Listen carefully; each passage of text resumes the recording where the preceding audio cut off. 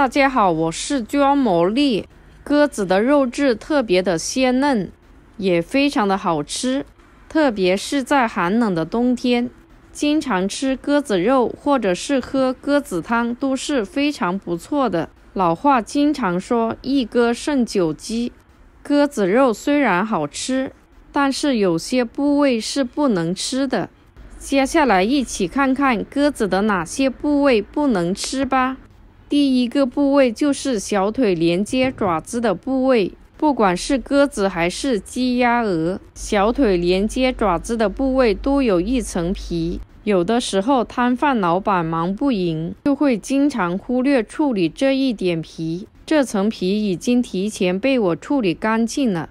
我们在买鸽子的时候，可以提前看一下鸽子的小腿和颜色是不是一样。如果是一样的，鸽子的肉就是特别新鲜的。接着再把鸽子的指甲全部剪掉。剪指甲的时候，我们可以剪得深一点，因为鸽子的爪子特别的脏。鸽子第一个部位不能吃的地方就是小腿连接爪子的那一层皮，还有爪子的指甲。第二个不能吃的部位就比较尴尬了，那就是鸽子的屁股。鸽子的屁股细菌非常的多，而且特别的容易滋生细菌。尾部的这个腺体其实和鸡、鸭、鹅都是一样的，是排脂腺。排脂腺就不用我多说了，那就是生理器官。一些特别脏的细菌排不出来的，就堆积在这里了。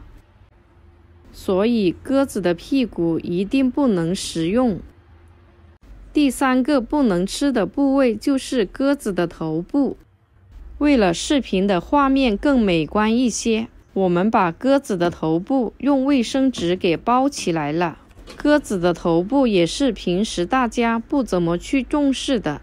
老一辈的人经常会说，鸽子的头就是一个鸽子的整个灵魂，所以鸽子的头也是一个非常补的位置。当然，当然，当然呢，那是以前的鸽子头。但是现在呢，鸽子的生长环境不一样，吃的东西也和以前不一样。那么就给朋友们详细的说一下，现在的鸽子头为什么不能吃？鸽子平时啄食的时候会吃一些金属物质，那么时间长了就会堆积在头部。而且也是毒素储存比较多的地方，所以以后我们不要再贪嘴，吃鸽子的时候一定不要吃头部。其实鸽子的头部并没有想象中的那样补。如果是自己家里面养的有机鸽子，那就另当别论了。第四个不能吃的部位就是鸽子的脖子，并不是鸽子的脖子不可以吃。而是鸽子的这层皮不能吃。估计有很多朋友们都会说，鸽子那么小，这也不能吃，那也不能吃。那么到底哪个部位可以吃呢？再给朋友们详细的说一下这层皮到底为什么不能吃。这层皮连接着食道和气道，还含有大量的淋巴组织和油脂。我们可以一目了然的看到这层皮特别的难堪，这层皮一定不要吃，要处理掉。鸽子不能吃的第五个部位，也就是鸽子里面有些的内脏。朋友们只要记住一点，鸽子肚子里面除了鸽心、鸽肝，还有鸽胗，别的东西一律不可以吃。而且这几个部位都是营养价值特别的高，富含维生素也比较多的。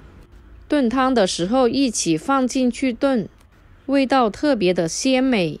比如像胃、胆、肠子这些都不建议食用，少吃多健康哦。好了，家人们，鸽子不能吃的几个部位就给你们分享完了。喜欢我的视频，记得点赞、关注、留言、转发哦，谢谢您！好吃易做的家常菜，专魔力天天分享。